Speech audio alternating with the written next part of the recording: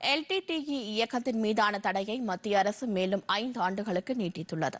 இது தொடர்பாக மத்திய உள்துறை அமைச்சகம் பிறப்பித்துள்ள உத்தரவில் எல்டிடிஇ அமைப்பின் செயல்பாடுகள் இந்தியாவின் இறையாண்மைக்கும் பிராந்திய ஒருமைப்பாட்டிற்கும் தொடர்ந்து அச்சுறுத்தலாக இருப்பதால் இந்த தடை நீட்டிக்கப்படுவதாக தெரிவிக்கப்பட்டுள்ளது.